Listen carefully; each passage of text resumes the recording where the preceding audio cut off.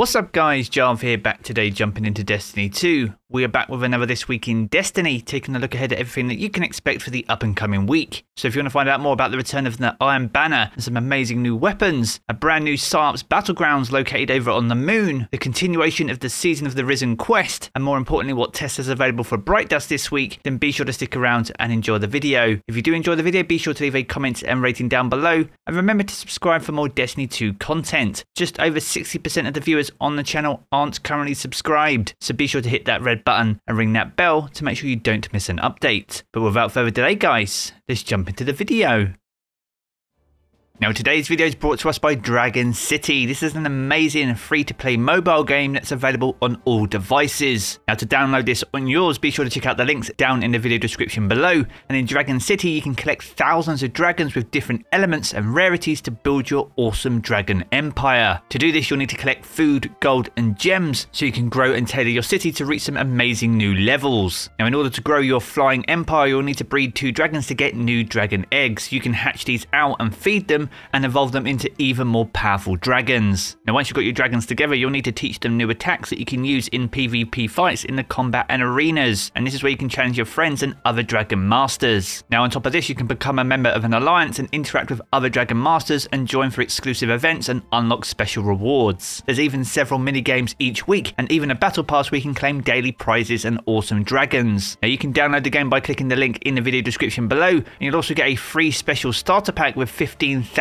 food, 30,000 gold, and a fortune dragon too. It's the perfect start to your Dragon City adventure, so be sure to check the links down in the video description below. Now jumping back into this week in Destiny and the Dares of Eternity loot. Now this week sees the Gensym Knight suit set return to rotation. This is the original armor set from I back in Destiny 2 Vanilla, and that's alongside the Kairos function set. This is from the Curse of Osiris era, and both of these armor sets can be earned via engrams that drop during the activity or upon activity completion itself. So if you're looking to fill out your transmog collection and these haven't been available at Xur up until now, then be sure to jump into Dares of Eternity this week. But if you're seeking out weapons rather than armor, then you'll have all the weapons from Season of Arrivals and also Season of the Worthy become available. This includes the Nature of Beasts, the Fallen Guillotine, False Promises, Temptation's Hook, the Cold Denial, Whispering Slab, the Hollowed Words Fusion Rifle, the Seventh Seraph Carbine, the Officer Revolver, the CQC Shotgun, the Seventh Seraph Sidearm, the Seventh Seraph VY7 Submachine Gun, the Seventh Seraph Sword Machine Gun, and also the Truth Teller Grenade Launcher. There are some top tier weapons available in Dares of Eternity this week, so if there's a particular weapon that you're chasing down, then be sure to jump in to get your hands on it.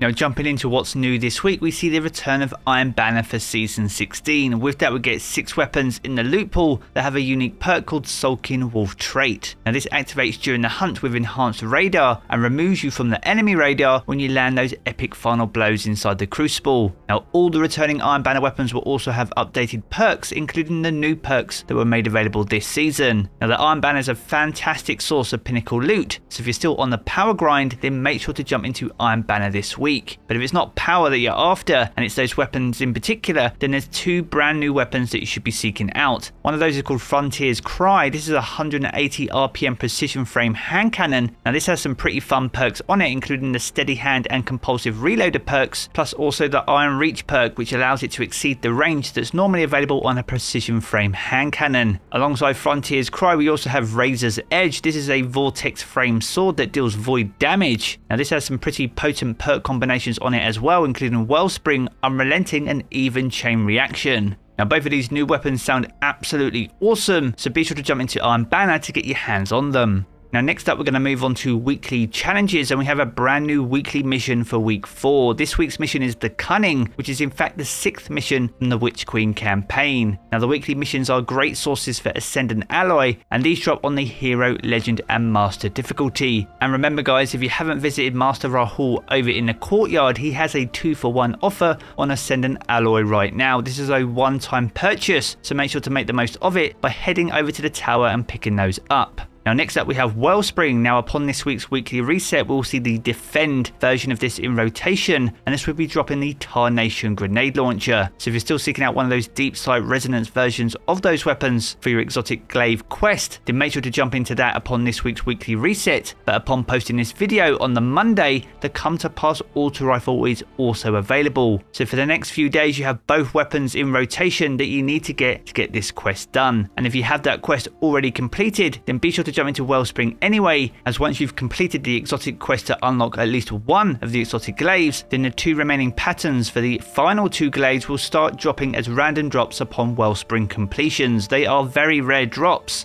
and whilst they are hard to come by, the patterns for these exotic glaives will drop on absolutely any class. So even if you're on a warlock for example, you can still get the patterns for the hunter and titan glaive. So whether you're looking to get that quest underway to get your first glaive in your collection, or you want to get the final two patterns for your final two glaives to save yourself some time on your other characters, then definitely make sure you jump into Wellspring this week. Now moving on from Wellspring and over to Psi-Ops Battleground, we have week 4 of this week's seasonal quest and things get a bit spicy in this up and coming week. We're not going to do any spoilers in this video today, but there is a new Psi-Ops Battleground activity that takes place over on the moon. Upon completing this, Caiatl will return to the tower and there'll be a very juicy cutscene and some narrative this week. Now it's with that in mind what I will say is expect a major bombshell upon this week's weekly quest. Now moving on from the weekly challenges and into the weekly rituals, we have a brand new Nightfall for the up and coming week and this can be found over in the Glassway. The Grandmaster difficulty and the Adept versions of those weapons won't be available until the 5th of April. Now, unfortunately, we are still working out the rotation for all the Nightfall exclusive weapons, so it's with that in mind, once we find it out, we'll be sure to add it to the video description down below.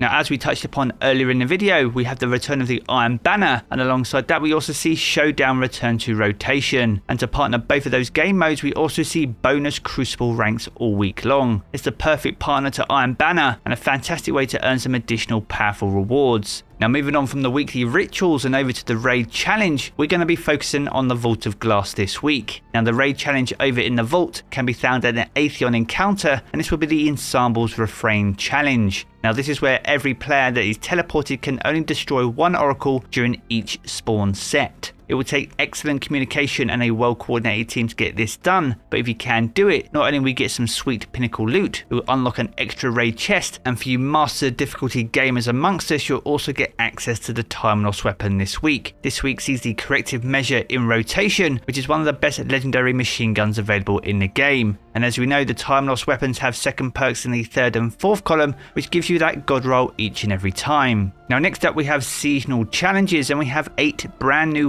weekly challenges in week 4 of Season of the Risen. The first one's called Operation Elbrus week 4, so you need to complete week 4 of Operation Elbrus and focus Umbral engrams at the war table over in the Helm using the Risen Umbral Energy. You also need to collect Umbral Energy by decoding runic chests at the end of the Psi-Ops Battlegrounds. That's alongside Rippling Wings, so in the Throne World you need to collect 3 Moths and destroy 3 Darkness Rifts. Next up we have weapon shape 3, so you need to increase weapon mastery for a shaped weapon and reshape a weapon over in the Enclave. That's alongside Mod Collector, and you need to unlock 12 artifact mods this season. Alongside this, we have precision calibration, so you need to calibrate marksman weapons. This includes scout rifles, sniper rifles, and linear fusion rifles by landing precision final blows. You also get bonus progress against guardians. Next up, we have High Value Hunter. So you need to defeat powerful combatants in Gambit and earn bonus progress by defeating high value targets. And alongside this, we have Iron Sharpens Iron, and you need to complete Iron Banner matches and you earn bonus progress for wins. And the final challenge this week is called Darkness Nightfall,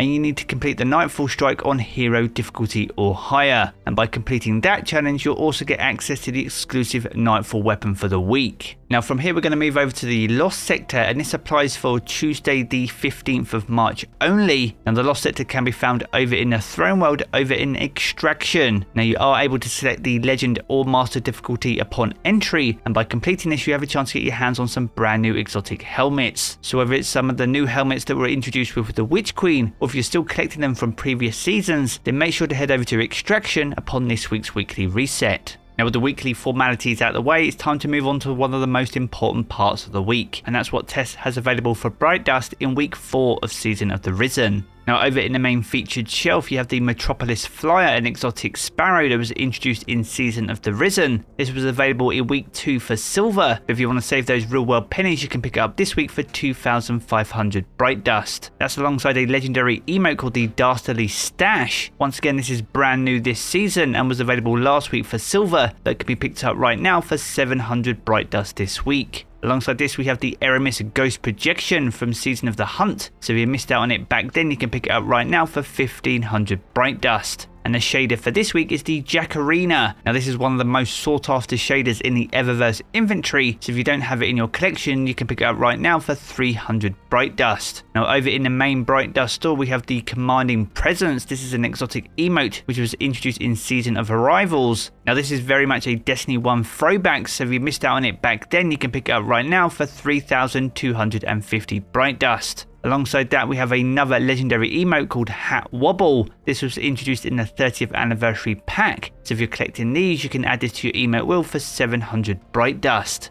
Alongside that, we have August Corsa, an exotic sparrow that was introduced in Season of Arrivals as well. Now, this is part of a cosmetic set, and we even had the August Ghost sold a few weeks ago. So, if you're collecting all of these, you can pick it up this week for 2,500 Bright Dust. Next, we have the Tex Mechanica Exotic Ghost Shell. This was introduced in the Season of Dawn way back in Season 9. So once again, if you're a collector and missed out on it, you can pick it up right now for 2,850 Bright Dust. Now next up we have exotic armor ornaments and these will vary depending on which class of guardian you visit Tess with. For you hunters you have a knucklehead radar ornament called the 9 days or nights. Now for you titans you have one for your synthoceps this week called photodolic acutors and for you warlocks you have one for your ophidian aspects and these are called coaxial bonds. Now each one of these ornaments will set you back 1500 bright dust so if you're looking to collect them all be sure to visit Tess with each and every class. Next, we have the Pegasus Ghost Projection, way back from Season of the Chosen. So if you missed out on it back then, you can pick it up now for 1500 Bright Dust. And the final item on offer this week is a exotic weapon ornament for the last word. This is called the Stagecoach and was introduced in the 30th anniversary pack. So if you missed out on it on last season's event, you can pick it up now for 1250 Bright Dust. Now once again, massive thank you for Dragon City for sponsoring today's video and remember to download the game by clicking the link in the description down below or by scanning the QR code that you see here on screen. This will grant you a free special starter pack to help you start your Dragon City adventure. So there we have it guys, another This Week in Destiny. If you've enjoyed this video, be sure to check out one of the two videos you see here in these cards for more Destiny 2 content. And if you want to keep up to date with everything to do with Destiny 2, be sure to hit subscribe as well. I'm going to jump back into the game as always guys, and I will catch you all again very soon.